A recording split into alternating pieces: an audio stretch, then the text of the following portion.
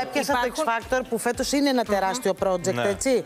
Και σαφέστατα όλοι είχαμε το ενδιαφέρον α, ε, σε αυτό το τεράστιο project αν θα είναι η Δέσποινα Βανδύ. Είχαμε το ενδιαφέρον, δεν είχαμε. Ναι, και σήμερα και χθες από την εκπομπή το αποκαλύψαμε. Θα είναι η Δέσποινα Βανδύ η παρουσιάστρια του προγράμματος και έγινε και φωτογράφηση χθες κατά τη διάρκεια της εκπομπής. Και αυτά είναι τα πλάνα που βλέπετε και παρακολουθείτε θεάρα, ε. μέσα από την οθόνη σας. Είναι η επίσημη φωτογράφηση της Δέσποινα Βανδύ για το X Factor που θα, ξε... κυκλοφο- θα ξεκινήσει το Σεπτέμβριο εδώ στο Open. Εντυπωσιακότατη, Φανταστικό, όμορφη. φανταστικό, φανταστικό. Ε, θεωρώ ότι η Δέσποινα Βανδύ ε, τα τελευταία δύο-τρία χρόνια που ασχολείται με την παρουσίαση πιο συγκεκριμένα έχει ένα στυλ πολύ ωραίο, πολύ φρέσκο, πολύ διαφορετικό από άλλες παρουσιάστριες.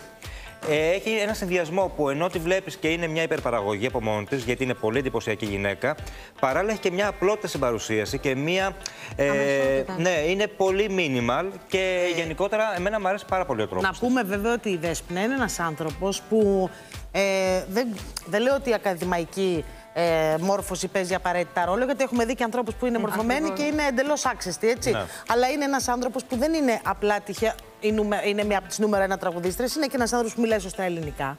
Είναι ένας άνθρωπος προσιτός και αυτό το είδαμε και στην ε, άλλη εκπομπή που εκπομπή κάνει. που κάνει στο Mike Grease, που πώς πλησιάζει τον κόσμο, πώς μαθαίνει τις πληροφορίες και πάνω απ' όλα είναι εμφανίσιμη, δεν το συζητώ, είναι μια κουκλάρα, αλλά είναι και ένας άνθρωπος που δουλεύει πάνω σε αυτό που κάνει. Δεν είναι παίρνω μια κάρτα, Ακριβώς.